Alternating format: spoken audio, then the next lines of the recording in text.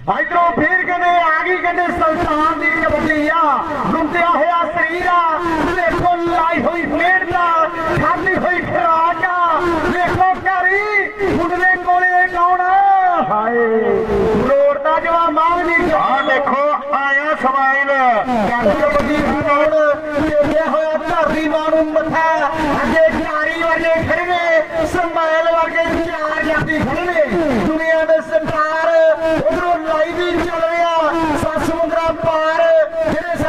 ਬੈਠੇ ਆ ਉਹ ਵੀ ਕਹਿੰਦੇ ਪੂਰਾ ਨਜ਼ਾਰਾ ਲੈ ਇਧਰੋਂ ਆ ਜਾ ਕਹਿੰਦੇ ਸਮਾਈਲ ਜਿਹਦਾ ਵੱਖਰਾ ਸਟਾਈਲ ਫੜ ਲੈ ਕੁੱਟ ਇਹਦਾ ਪੁੱਤ ਹੁਣ ਛੁੱਟ ਮੁਕਾਬਲਾ ਹੋ ਗਿਆ ਸੱਟ ਇਹ ਮਾਰਦਾ ਢੁੱਡਾ ਤੇ ਢੁੱਡਾ ਇਹਗਾ ਗੋਰਿਆ ਪੱਕੀ ਆ ਜਿਵੇਂ ਮਾਝੇ ਦੇ ਵਿੱਚ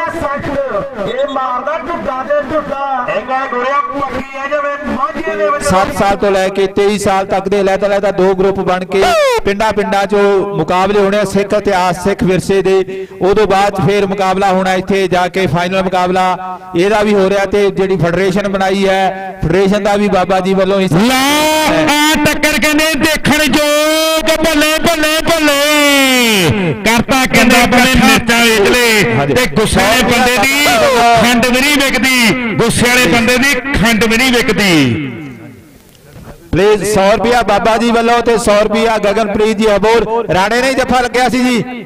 ਰਾਣੇ ਵਾਸਤੇ 200 ਰੁਪਿਆ 100 ਰੁਪਿਆ ਬਾਬਾ ਜੀ ਵੱਲੋਂ। ਬਰਾਬਰ ਦੀਆਂ ਭਾਜੀਆਂ ਬੱਲੇ ਬੱਲੇ ਬੱਲੇ ਬੱਲੇ ਬੱਲੇ ਬੱਲੇ ਬੱਲੇ ਬੱਲੇ ਬੱਲੇ। ਬੱਲੇ ਕਰਾ ਦਿੱਤੀਆਂ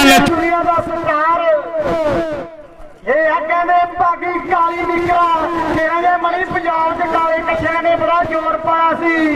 ਕਾਲੇ ਕੱਛੇ ਵਾਲੇ ਨਵਾਂ ਚੰਦ ਚੜ ਗਏ ਤੇ ਪਿਛਲੀ ਕੀ ਪੂਰੀ ਮਾਈ ਦਾ ਗੱਡਾ ਮਾਰ ਕੇ ਤੇ ਜਾਂਦੇ ਜਾਂਦੇ ਪਿਛਲੋਂ ਦੀ ਪੰਜੀਰੀ ਛੱਡ ਕੇ ਨਾਲ ਹੀ ਕਹਿੰਦੇ ਫ੍ਰਿਜ ਵਿੱਚ ਅੰਬ ਧਰ ਗਏ ਇਹ ਆ ਕਹਿੰਦੇ ਸਮਾਨ।